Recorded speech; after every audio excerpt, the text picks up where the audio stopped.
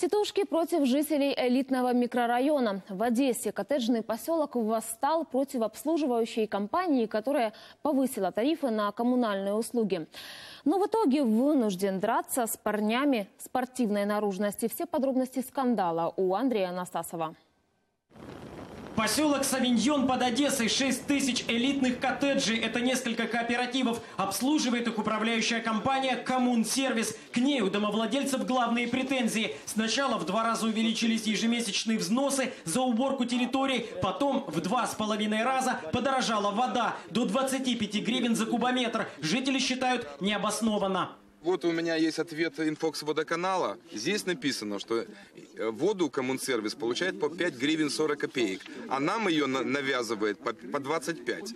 Как вы считаете, это нормально? Но настоящий шок люди пережили, когда узнали, труба, по которой подается вода и на которую в свое время сбрасывались деньгами, им уже не принадлежит. Новый собственник все тот же коммунсервис. К этому якобы приложил руку председатель кооператива. Он подделал документы, которые ему позволили это сделать.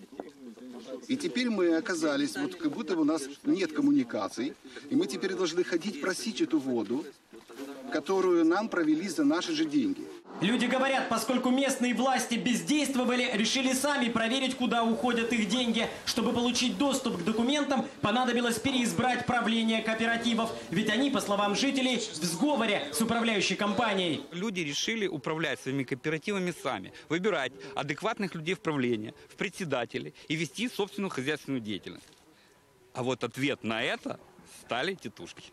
Титушки появились во время проведения общего собрания кооператива «Савиньон-2». Встречу для переизбрания руководства люди организовали прямо в доме одного из жильцов. Парни спортивной наружности никого не пускали в здание и никого не выпускали. Возникла потасовка. Переизбрать правление все же удалось. Ударили нашего юриста, потом женщину. Я не ожидал вообще такого. Такого я в жизни не видел. За комментарием мы обратились в коммунсервис, в частности, к главному соучредителю компании Александру Сачкову. Хотели узнать, почему так растут тарифы, но времени для интервью он не нашел. Занят, совещание, он сейчас не готов. Зато в интернете охотно рассказывает, как важна роль его предприятия.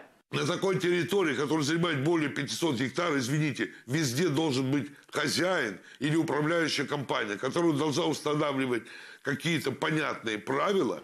Жители кооперативов, между тем, сообщают о поступающих угрозах и требуют, чтобы правоохранители вмешались в ситуацию, иначе грозят перекрывать междугородние трассы. Андрей Анастасов, Игорь Миханошин, подробности телеканал Интер, Одесская область.